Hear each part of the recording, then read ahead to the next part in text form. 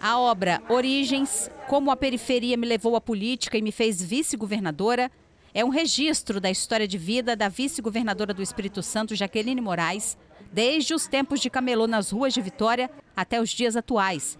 O livro traz fotos de várias fases da vida dela e relatos de momentos de uma trajetória marcada por desafios, lutas e conquistas eu quero deixar um legado primeiro de inspiração, de saber que nós mulheres, por mais difícil que seja a sociedade, que foi sociedade, por mais atributos que nós temos como mãe, como esposa, como filha, muitas vezes assim com o nosso trabalho é, eclesiástico, social, é, nós podemos também participar da política, nós podemos ocupar o espaço que nós quisermos ocupar. Então eu sempre falo, mulheres sonhem, sonhem alto, porque o máximo que vai acontecer é realizar um sonho à altura. Então, o meu livro, esse, essa obra que eu tive assim, muito carinho para escrever, diz como a periferia me levou. É, para a liderança e me fez vice-governadora. Então, me levou para a política e me fez vice-governadora.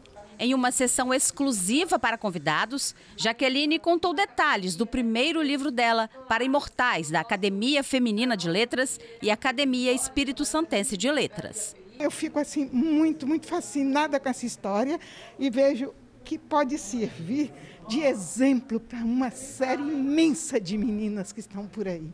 O livro me pareceu não uma biografia, mas um depoimento de uma pessoa que viveu um, um espaço, num espaço e num tempo, uma vida de crescimento.